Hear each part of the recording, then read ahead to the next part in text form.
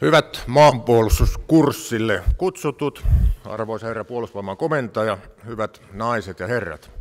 Ärade kursdeltagare, mina damer och herrar. Eduskunta hyväksyi kesäkuussa valtioneuvoston puolustusselonteon. Se oli lajissaan historiamme ensimmäinen. Hyvä niin. Hieman hakusessa ollut Suomen puolustuspolitiikka sai suuntaa ja linjaa pitkälle 2020-luvulle. Tarkastelen puheessani selonteon toimeenpanoa yleensä sekä puolustusyhteistyötä erikoisesti. Aloitan kansallisen puolustuskyvyn vahvistamisesta. Turvallisuusympäristömme on muuttunut, ei vähiten Krimin valtauksen Itä-Ukrainan sodan johdosta. Suomen puolustus on sopeutettava muuttuneeseen turvallisuustilanteeseen. Tähän meillä on hyvä pohja, sillä me emme lähteneet yleiseurooppalaiseen kriisinhallintahypetykseen viime vuosikymmenellä, vaan ylläpidimme epämuodikkaasti, mutta määrätietoisesti kansallista puolustustamme asevelvollisuuden ja aluepuolustuksen pohjalta. Suomalaisen puolustusjärjestelmän akilleen kantapäänä on ollut etenkin maavoimien valmius. Turvallisuusympäristön muutos on pakottanut panostamaan valmiuteen. Kriisit voivat tulla yllättäen ja ne voivat tulla nopeasti. Ilman valmiutta ei ole maanpuolustusta. Puolustusvoimat on tehnyt kuluneen kahden vuoden aikana paljon valmiuden eteen. On rakennettu nopeasti kehittyvien uhkien torjuntaan vasten tarkoitetut valmiusjoukot. Niistä viimeisimpänä toimintansa ovat aloittaneet henkilökunnasta ja pitkän palvelusajan varusmiehistä muodostetut valmiusyksiköt. Palauta kentältä on ollut hyvä. Valmiusyksiköihin on löytynyt vapaaehtoisia. Nuoret valmiusjääkärit ovat tarttuneet mahdollisuuteen kantaa vastuunsa valtakunnan turvallisuudesta ja saada monipuolista ja vaativaa sotilaskoulutusta. Valmius maksaa. Ilman resursseja ei ole valmiutta. Puolustusvoimien toimintamenoihin onkin lisätty julkisen talouden suunnitelmassa 50 miljoonaa euroa vuosittain valmiuden kehittämiseen ja ylläpitämiseen. Pääosa lisämäärärahoista suunnataan kaluston kunnossapitoon ja valmiusharjoituksiin. Sitten strategisiin suorituskykyhankkeisiin. Sekä Laivue 2020-hanke että Hornettien korvaajahanke, HX-hanke, ovat elintärkeitä puolustuksemme kannalta. Puolustuksemme on yhtä vahva kuin sen heikoin osatekijä. Näin, näin ollen puolustuksemme kaikki elementit, kaikki kolme puolustushaaraa, maa, meri ja ilmavoimat, on pidettävä tasapainoisen iskukykyisinä. Molemmat strategiset hankkeet ovatkin jo sisällytetty budjettikehyksiin. Hankkeiden valmistelua jatketaan suunnitellussa aikataulussa. Alusten suunnittelutyö on käynnissä ja rakentamissopimus on tarkoitus solmia ensi vuonna. Aluksiin integroitavan taistelujärjestelmän hankinta on niin ikään käynnistetty. Neuvottelut kolmen toimittajavaihdon kanssa jatkuvat ja hankintapäätös tehdään ensi vuoden kuluessa. Alusten rakentaminen alkaa vuonna 2019. Hornettien seuraajien kohdalta haluan painottaa kahta seikkaa. Ensinnäkin niiden suorituskyky tulee korvata täysimääräisesti. Mitään ilmapuolustuksemme halpuutusta ei ole siis odotettavissa, vaan hyvin palvelleet Hornetit tullaan korvaamaan täysmääräisesti. Toiseksi etenemme hankkeessa suorituskyky edellä. Hankittaville hävittäjille on useita kriteereitä, mutta me etenemme suorituskyky edellä. Se lopulta ratkaisee. Tämänkin hankkeen valmistelu etenee hyvin aikataulussa. Kaikki valmistajat ovat vastanneet tietopyyntömme. Tällä hetkellä arvioidaan saatujen vastausten sisältöjä ja valmistellaan tarjouspyyntöjä, jotka lähetetään viittä hävittäjä edustaville valtioille ja valmistajille keväällä 2018. Tarjouspyyntöjen vastaukset saadaan vuoden 18 loppuun mennessä ja tämän jälkeen alkaakin suuri urakka vastausten analysoinnissa. Lopullisen päätöksen tulevasta hävittäjähankinnasta tekee seuraava hallitus loppuvuodesta 2021. Hyvät kuulijat, kolmantena teemana haluan nostaa vapaaehtoisen maanpuolustuksen kissan pöydälle. Vapaaehtoisuudella on pitkä traditio suomalaisessa maanpuolustuksessa. Se luo perustaa maanpuolustushengelle, se yhdistää vähäväkistä kansaamme ulkoisia uhkia vastaan. Puolustusselonteon mukaan maanpuolustuskoulutusyhdistystä kehitetään pohjoismaisten toimintaperiaatteiden mukaisesti ja lisäksi tavoitteena on vahvistaa vapaaehtoisen maanpuolustuksen asemaa paikallispuolustuksessa sekä virka-aputehtävissä. Vapaaehtoisen maanpuolustuksen organisointi voidaan tehdä monella tavalla. Tässäkin, kuten Hornettien korvaajahankkeessa, tulee edetä suorituskyky edellä. On edettävä avoimin silmin ja mielin. Onko nykyinen malli tehokas? Motivoiko se reserviläisemme? Integroituuko vapaaehtoinen maanpuolustusjärjestelmämme niin, että paikallispuolustus vahvistuu ja virkaavun antaminen helpottuu? Näitä kysymyksiä on syytä tarkastella kriittisesti. On olemassa useita eri kehitysvaihtoehtoja. Niistä yksi on maanpuolustuskoulutusyhdistyksen aseman tehostaminen nykyisessä asemassaan puolustusvoimien kumppanina.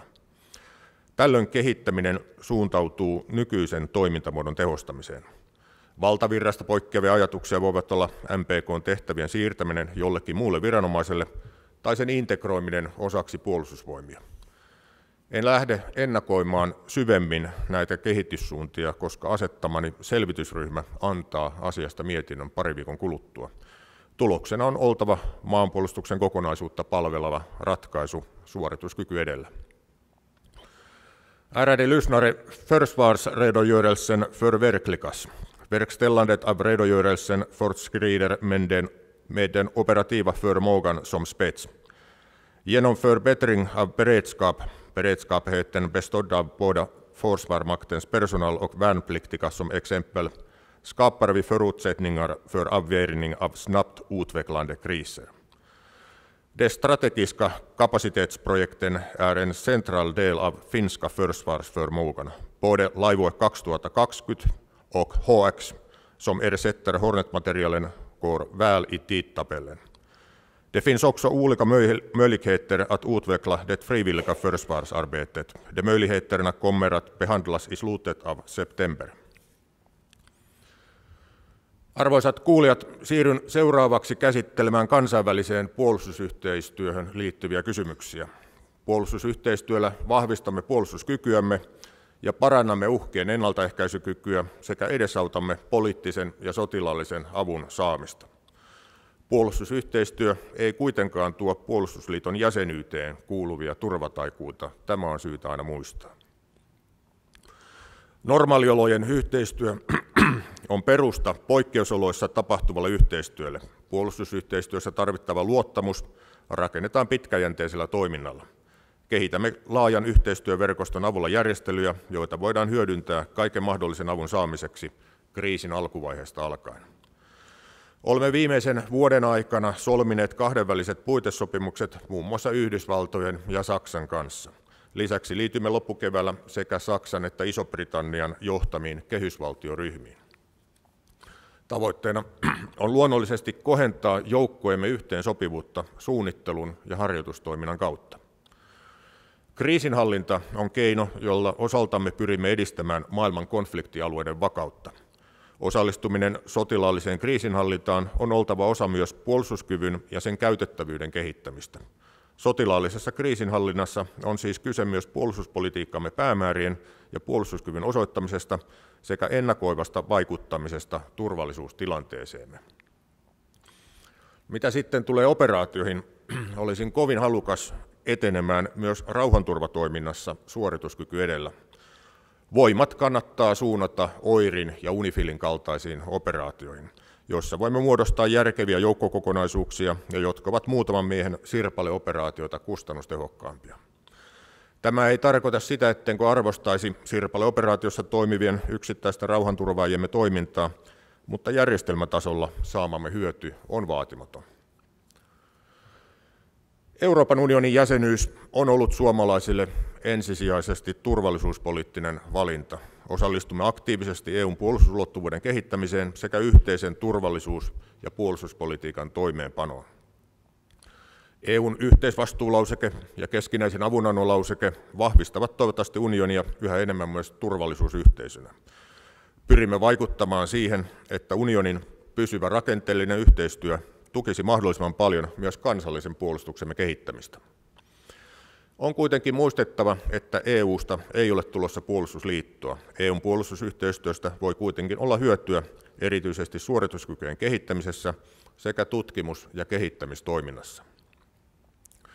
Naton osalta laajennettujen mahdollisuuksien kumppanuuden sekä Naton, Ruotsin ja Suomen välisen yhteistyön syventämistä muun muassa harjoitus- ja koulutustoiminnassa sekä yhteisen tilannetietoisuuden kehittämisessä. Puolustuskykyä kehittäessä otamme jatkossakin huomioon yhteistyömahdollisuudet ja kansainvälisen yhteensopivuuden sekä varmistamme, että mahdolliselle sotilaalliselle liittoutumiselle ei muodostu käytännön estettä. Pohjoismaista puolustusyhteistyötä kehitetään muun muassa tilannekuvayhteistyön sekä koulutus- ja harjoitustoiminnan alueella. Suomi pyrkii lisäämään meri- ja ilmavoimien tukikohtien sekä harjoitusalueiden yhteiskäyttöä joustavan ja tehokkaan harjoitustoiminnan kehittämiseksi. Puolustusmateriaalilla jatketaan yhteisiä hankevalmisteluja sekä kehitetään teollisuusyhteistyötä. Tuemme Nordefcon ja Baltian maiden välistä yhteistyötä sekä niin sanotussa pohjoisessa ryhmässä Northern Groupissa tehtävää yhteistyötä. Kahdenvälisessä puolustusyhteistyössämme Ruotsilla on erityisasema. Puolustusyhteistyö Ruotsin kanssa tähtää Itämeren alueen turvallisuuden sekä Suomen ja Ruotsin puolustuksen vahvistamiseen. Suomi ja Ruotsi syventävät puolustusyhteistyötä, jota kehitetään kattamaan operatiivinen suunnittelu kaikissa tilanteissa. Esimerkkejä näistä voisivat olla alueellisen koskemattomuuden turvaaminen tai jonkun alueen yhteinen puolustaminen. Kahdenvälisen puolustusyhteistyön syventämiselle ei ole asetettu ennakkoon rajoitteita. Yhdysvallat on meille tärkeä kumppani, jonka kanssa tehtävä puolustusyhteistyö parantaa puolustuskykyämme. Jatkamme tiivistä materiaaliyhteistyötä sekä syvennämme muuta puolustusyhteistyötä Yhdysvaltojen kanssa kahdenvälisen aiejulistuksemme mukaisesti. Tähän kuuluvat puolustuspoliittisen vuoropuhelun syventäminen, tiedonvaihto, suorituskykyjen kehittäminen, valmiuden ja yhteistoimintakyvyn vahvistaminen, harjoitustoiminta sekä materiaali- ja tutkimusyhteistyö. Voi sanoa, että puolustuspoliittisella tasolla yhteistyö Yhdysvaltojen kanssa on tiiviimpää kuin koskaan. Kaikessa kansainvälisessä yhteistyössä on kuitenkin ymmärrettävä ja huomattava, että sitä ei tehdä kanssamme sinisten silmiemme tähden. Niin kauan kuin meilläkin on annettava yhteiseen pöytään ja olemme ennemmin turvallisuuden tuottaja kuin kuluttaja, halutaan yhteistyötä kanssamme tehdä. Tasavallan presidenttiä mukaillen meidän pitää olla houkutteleva kumppani, jos rytinä alkaa. Ja oma mottoni, Suomi saa kyllä apua, jos siitä on hyötyä apuantavalle osapuolelle. Toivotan teille antoisaa maanpuolustuskurssia ja önskar er en angenehm försvarkurs.